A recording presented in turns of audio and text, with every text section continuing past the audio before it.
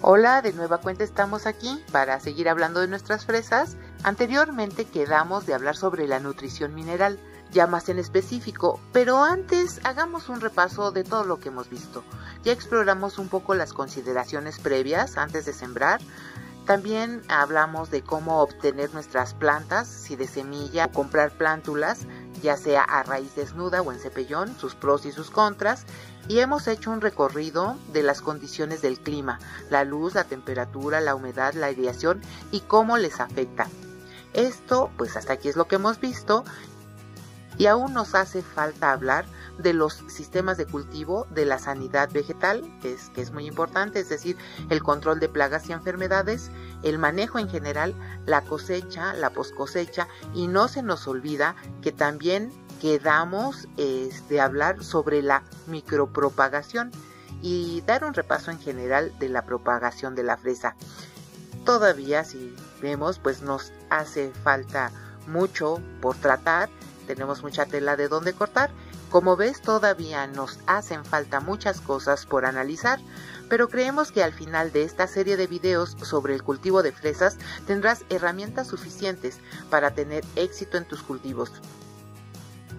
Y bueno, sin hacer largo el preámbulo, en nuestro video anterior quedamos de hablar sobre la nutrición mineral en específico y aquí solo queremos recordar que aun cuando suene extraño, sí hay diferencias entre la nutrición de la planta y la nutrición mineral.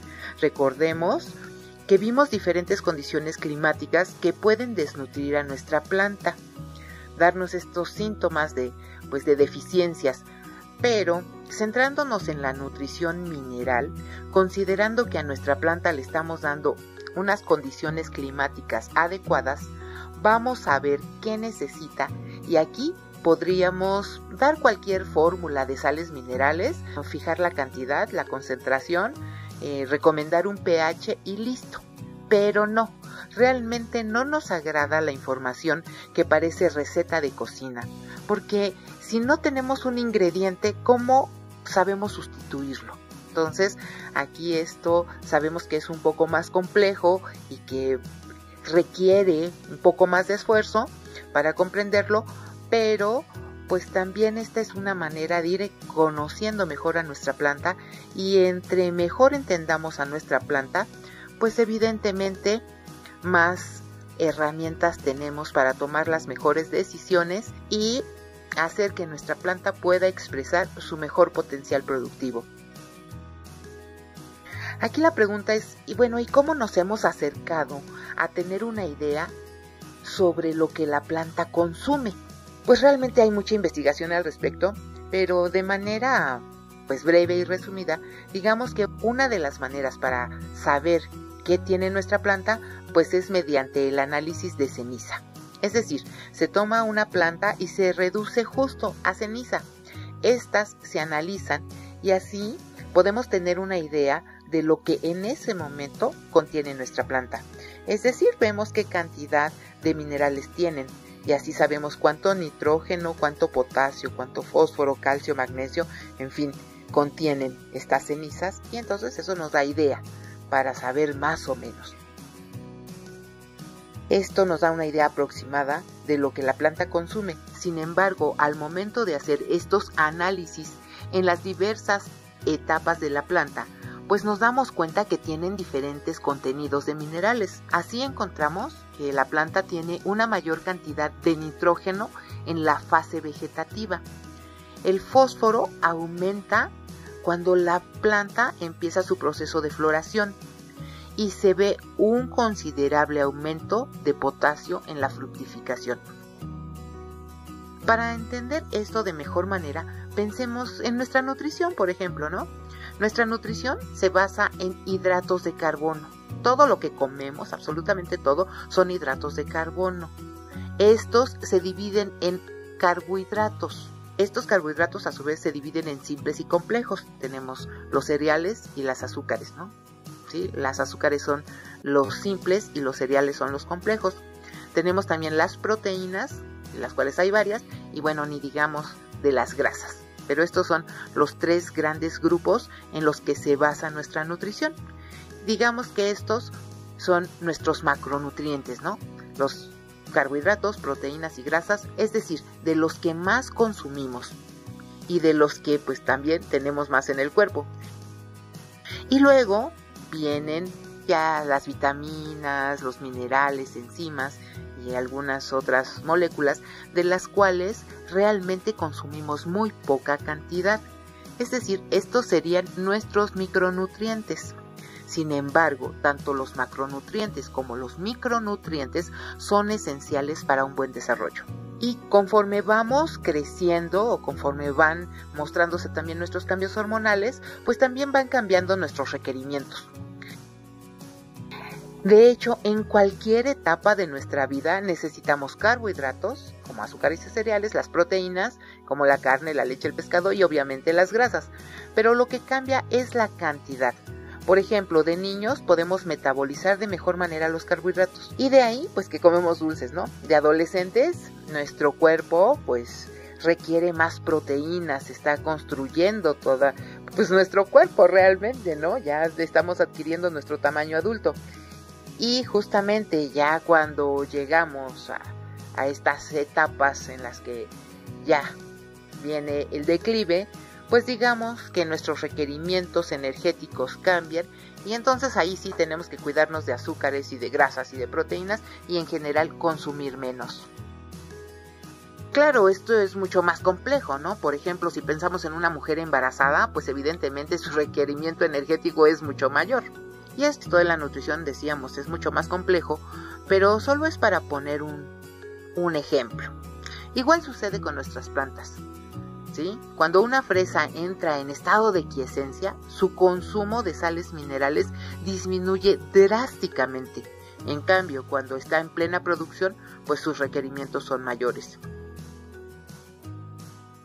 La nutrición en general, ya sea de plantas y animales, es un proceso muy complejo donde intervienen infinidad de reacciones químico-físico-eléctricas para convertir materia a energía y viceversa, energía a materia. Y aunque suene muy extraño, toda nutrición en realidad se basa en el proceso de respiración. Sorprendente, ¿verdad? Solemos entender a la respiración como el proceso de inhalación y exhalación, más específicamente sería el intercambio de gases. Y aún todavía más precisamente, la respiración es el proceso de oxidación mediante el cual se libera energía. Y aquí alguien podría decir que eso es la combustión. Y en realidad sí. Lo que difiere la combustión de la respiración es la velocidad de la reacción. La respiración es una oxidación lenta y en cambio la combustión es una eh, reacción abrupta. En ambos se da este, eh, esta conversión de energía.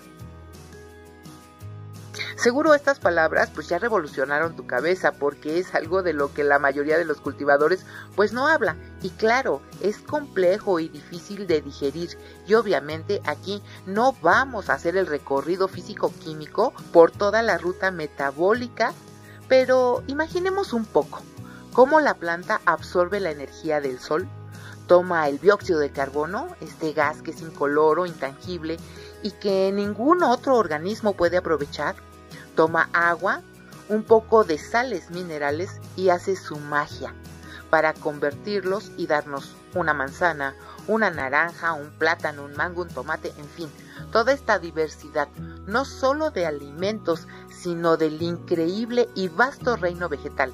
Increíble, ¿verdad? Imaginemos esta sorprendente capacidad transformadora de la planta, esta capacidad que tiene para reorganizar la materia, ya que para lograr esta tremenda variedad de vegetales solo son necesarios 16 elementos. Increíble, ¿no? Y en estos pues va incluido el oxígeno, el dióxido de carbono, bueno, el oxígeno, el carbono y el hidrógeno. Pero bueno, vamos a hablar más adelante de esto. Y antes de hablar de estos elementos, para seguir un poco con nuestro recorrido imaginario, solo digamos una idea más. Ya tenemos una manzana en la mano y este potasio, ese nitrógeno o fierro que estaban en la tierra, o ese CO2 que ni siquiera vemos, porque es nuestro desecho biológico cuando respiramos, ese dióxido de carbono, o sea, lo tenemos en nuestra manzana, y cómo al momento de ingerirla, pues va a pasar a nuestro organismo y terminaremos convirtiéndolo a energía. Es decir, de ahí obtenemos la energía necesaria para movernos, pensar y en términos generales para vivir nosotros y todos los demás organismos de este planeta. Cuando analizamos todos estos cambios entre materia y energía, pues decíamos nos sorprende y maravilla cómo los seres vivos transformamos esos 16 elementos, cómo vienen de un lado para otro, pasan a las plantas, pasan a las bacterias, pasan a ser inorgánicos, las plantas los vuelven a tomar, en fin, es un juego, pues es lo que ha mantenido a la vida en este planeta durante todo lo que conocemos como vida, ¿no? Muy extraño. Bueno, con respecto a estos elementos, no podríamos listarlos por su importancia, ya que todos juegan papeles importantes en el desarrollo de la planta. Por ejemplo, pongamos el caso del boro, que necesita realmente cantidades muy muy pequeñas, pero su deficiencia provocará desórdenes graves en nuestra planta. Pero lo que sí podemos hacer será listarlos de acuerdo a la cantidad que consumen.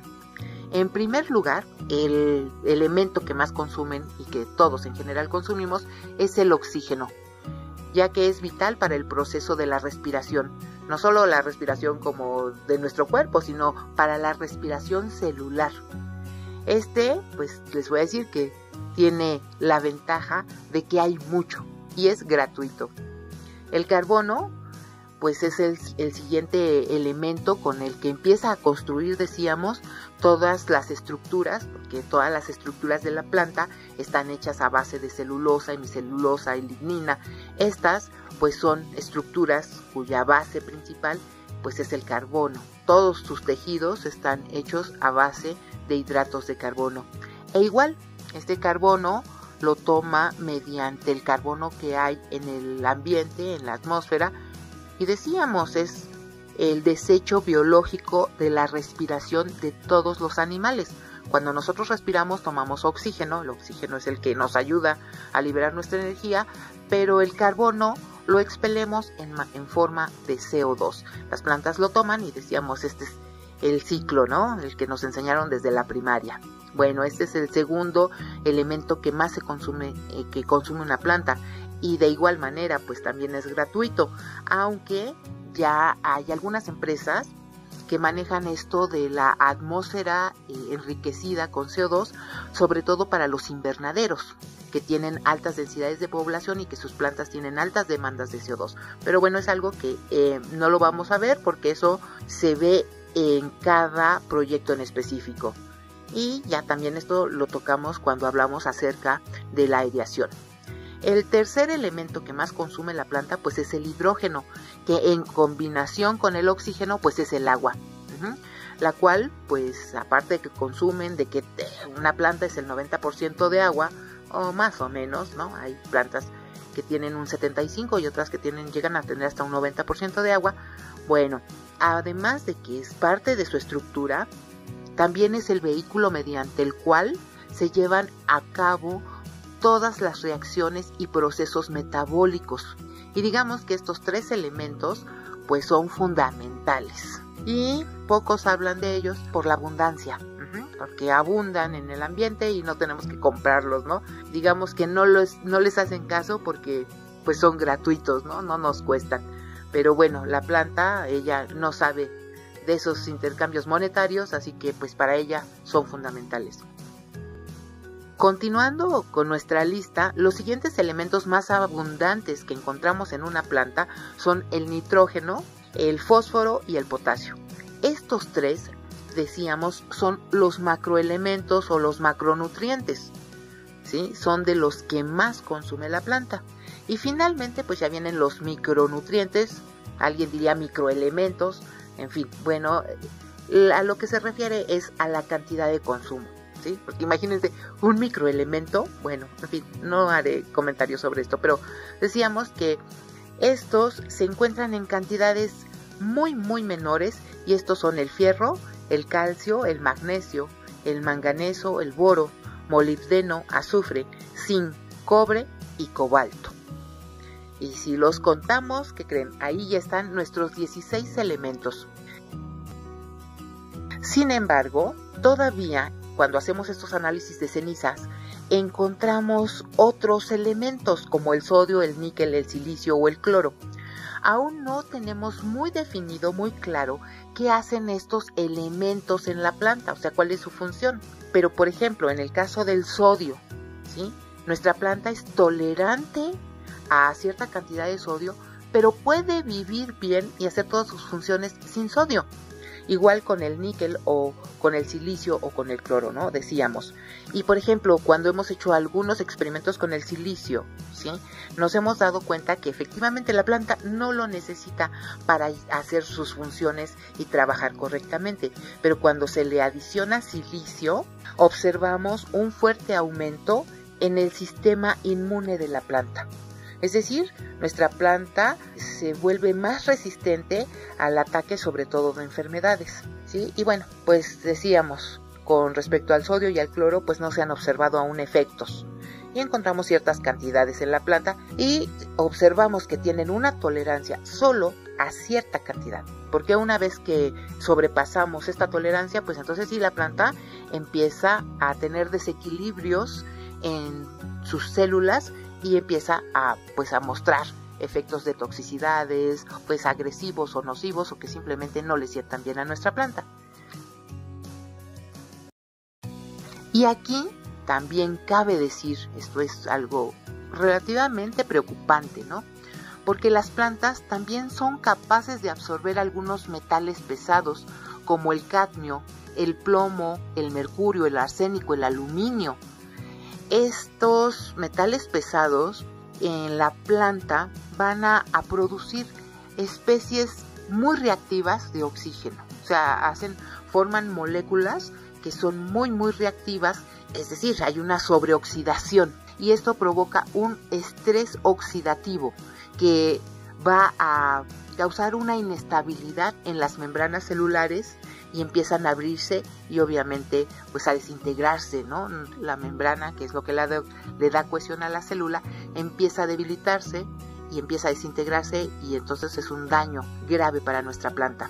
Sin embargo, también lo que hemos observado con respecto a esto es que eh, las plantas tienen unos extraños mecanismos para quelar o organar a estos metales pesados, es decir, crean una serie de anillos de carbono como para encapsular estos metales pesados y bioacumularlos en las vacuolas, ya sea para expulsarlos posteriormente o pues simplemente se pueden quedar ahí en la planta sin causarle daño, ¿no? Y estas moléculas pues son como el glutatión o como las fitoquelatinas o como las metalotioneínas. O sea, estos son mecanismos de defensa que la planta desarrolla para evitar que estos metales pesados le hagan daño a ellas. Pero esto no significa que no nos van a hacer daño a nosotros. Y desgraciadamente sí nos hemos encontrado con plantas que tienen acumulaciones de metales pesados. Y así como a ellas les desestabilizan sus células, pues a nosotros también. Entonces, esto de la acumulación de metales pesados es algo grave. Y bueno, lo que también como comentario es que se ha hecho mucha investigación sobre estas plantas que pueden quelar, por así decirlo, estos metales pesados que se están utilizando para la bioremediación y la limpieza del suelo. Esto pues hay que agradecérselos, ¿no? Pero bueno, esto es todo otro tema y nosotros realmente estábamos en la nutrición de nuestra planta. Y ya vimos los elementos que la planta necesita. De manera muy rápida, sí, porque yo creo que este video pues o este tema lo vamos a dividir en este y en otro video, sí, para entender, tenemos que hablar de concentración, de pH, y de saber cuántos minerales aporta X moléculas. O tenemos, digo, aquí tenemos un buen rato para entretenernos, pero entonces pues no nos queda otra más que apurarnos y proseguir, ¿no? Y de manera muy rápida veamos cómo la planta absorbe mediante la raíz los minerales nutrientes. De hecho, cabe hacer la aclaración que todas las plantas, sin importar si están en tierra, en hidroponía, en cualquier sistema descubierto o por descubrir, se alimentan de la misma manera. La entrada de agua y iones eh, vía raíz es afectada por, ya lo habíamos dicho, por factores edafoclimáticos, ¿no? Como el tipo de suelo, la temperatura, la aireación, la disponibilidad de nutrientes y el agua. Pero sin hacer mucho caso a esto, pongamos de lleno nada más a nuestra raíz o más bien a la membrana de nuestra raíz y esta va a ser la que va a dividir nuestro medio interno y nuestro medio externo. La mayor parte del agua penetra a la planta a través de la raíz y se va a perder en forma de vapor de agua durante su transpiración. Pues una manera extraña, ¿no? Pero podríamos concebir a nuestra planta como un complejo sistema a través del cual el agua pasa del suelo a la atmósfera. ¿Y esta agua qué hace en nuestra planta? En la planta, vamos a entenderlo que es una ruta, entonces nuestra planta es una continuidad y esta agua pues obviamente está distribuida en todos sus órganos. Y regresando a la raíz, de manera práctica, veámosla como una membrana que divide dos compartimentos.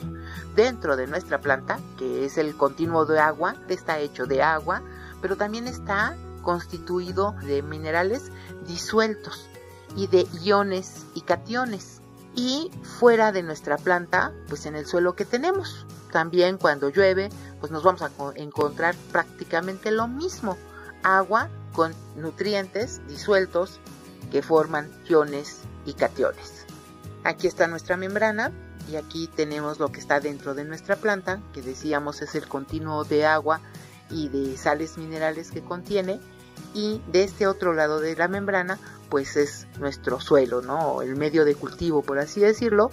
Y aquí que vamos a encontrar, pues agua con nutrientes. Pongamos de ejemplo el nitrógeno. ¿Sí? Vamos a poner de ejemplo un nitrato que es NO3. Al momento que entra en contacto con el agua, se va a dividir en iones, que es el ion nitrógeno, que tiene una carga positiva, y el oxígeno, que tiene su carga negativa. La carga de estos iones o cationes, que son cargas eléctricas positivas o negativas, se atraen o se repelen formando moléculas que la planta puede asimilar. Hasta ahí vamos bien. Ahora ya sabemos lo que es un ion. Todas las sales, cuando se solubilizan, pues van a, dividirse en estos iones. Y aquí viene algo muy interesante que es la presión osmótica. Es decir, si hay mayor concentración de sales en este lado del suelo, el agua de esta otra parte, de esta parte de nuestra planta va a tender, muy extraño, a pasar a la concentración mayor. Por eso sucede que cuando elevamos la concentración de sales, nuestra planta se deshidrata. En cambio, si la concentración de iones es la misma que en la planta que en el medio de cultivo, pues va a haber un intercambio selectivo de iones. Y si la concentración de iones en nuestra planta es mayor, entonces el agua y algunos otros iones van a tender a incorporarse a la planta. Por eso aquí nunca entre más va a ser mejor.